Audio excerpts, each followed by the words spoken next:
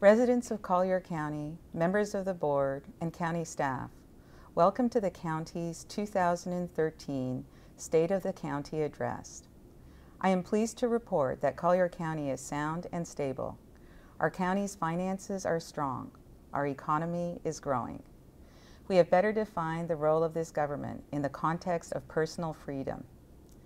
We have increased public safety by taking practical steps to remove illicit drugs, reduce theft, and help our first responders. We have made this county more transparent and honest than it has ever been by reforming ethics policies, clarifying legal responsibilities, and conforming to state law. In a number of areas, large and small, we have made Collier County a better place to live and conduct business by reviewing county operations and taking decisive action. Importantly, this is being achieved through a collaboration between the Board of County Commissioners, county staff, and the public acting as a unified team. The board, with insight gained through public input, has set policies for the community's benefit that county staff has successfully implemented. The guiding policy has been to provide the community with the highest level of service at the lowest possible cost to the taxpayers, the essence of fiscal conservatism. This policy has led the county to a level of unsurpassed success. Our fiscal situation is strong and likely among the best in the state. As we emerge from the Great Recession, Collier County has not increased property tax rates while maintaining outstanding governmental services for our residents and visitors, notwithstanding a reduction of more than 20% in general fund revenues from almost 400 million in fiscal year 2008 to 310 million in fiscal year 2013. In 2013, taxable value countywide increased 3.8%, representing the second consecutive adjustment since 2007. The increase is welcome news and continues to reverse a trend which saw Collier County lose over 21 billion in taxable value, almost 27% of its tax base since the 2007 tax year. Based upon state estimates, it is anticipated that Collier County will experience tax base increases through tax year 2017. The county continued to responsibly pay down its current debt obligation, and with no plans to issue new debt, approximately 50% of existing debt will be retired within the next eight years. The county's debt was at its highest in 2008 at $804 million. Outstanding debt has been reduced to just under 600 million in fiscal year 2013, a decrease of 25%. The remaining debt has been refinanced to take advantage of lower interest rates. Annual general governmental debt service has been reduced by 50% as a result. Collier County continues to keep a stable investment quality credit rating from all three major rating agencies. Moody's Investment Service noted that the county's long-term financial position is expected to remain healthy despite recessionary tax-based pressure, given conservative budgeting and fiscal discipline. Fitch Ratings commented on the county's sound financial management by indicating the county has responded to considerable revenue deterioration with conservative budgeting, aggressive expenditure reductions, and limited use of reserves. The Board of County Commissioners is committed to fiscal conservatism. Our economy is strong and growing. In 2013, Collier County was ranked number one in Florida for job growth. On April 4, 2013, Florida Governor Rick Scott recognized Collier County for having the fastest annual growth rate in the entire state of Florida. The board took proactive and aggressive action to promote economic development and job growth throughout the county. Impact fees were again reduced. The Land Development Code was amended to streamline building regulations and expedite the review process. An automated building plan review and permitting system was installed that allows for faster, more convenient, and efficient reviews. Standard building permit fees were reduced by 5%. The Office of the Hearing Examiner was created to expedite reviews of minor zoning and land use applications. A partnership with the Chamber of Commerce to promote the county as a business destination was formed.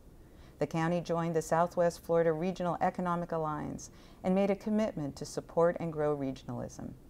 The board created the Community and Economic Development Chairmanship position, committing to economic development leadership at the board level. The board has reduced government overreach. Examples include, but are not limited to, the elimination of red light cameras. There were no demonstrable public safety benefits derived from this initiative, given our sophisticated and well-managed engineered traffic signaling system. The contract with the vendor was consequently terminated. Professional treatment of airport tenants. Fair treatment of all airport tenants is now the norm, not the exception. Companies that provide critical aviation services to Southwest Florida are treated with the respect they deserve. The Board has increased its commitment to public safety.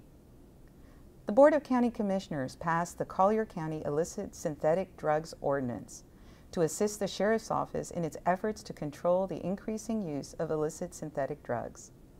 The Board of County Commissioners, working with the Sheriff's Office, developed a monitoring and disclosure program to make it easier to catch thieves who steal components used in privately owned and government infrastructure assets. Emergency vehicle preemption devices were approved for phase-in installation. Traffic signals in busy intersections are now preempted so as to assist emergency responders through those intersections. The board recognized the need for the build-out of the Sheriff's Special Operations Center and for a forensic storage lab facility and accordingly began planning for these projects. As an example of working together with a community in crisis, in the wake of the fire that badly damaged the Greater Naples YMCA, the board worked closely with officials from the YMCA to develop an immediate plan for the continuity of YMCA programs and services. We provided county office space so YMCA staff could continue administrative functions, and we expedited permitting as they rebuilt. Collier government is honest, open, and transparent. The board clarified and strengthened the Collier County Ethics Ordinance, making the ordinance consistent with state statutes, making it clear and unequivocal that kickbacks and bribes are illegal in Collier County.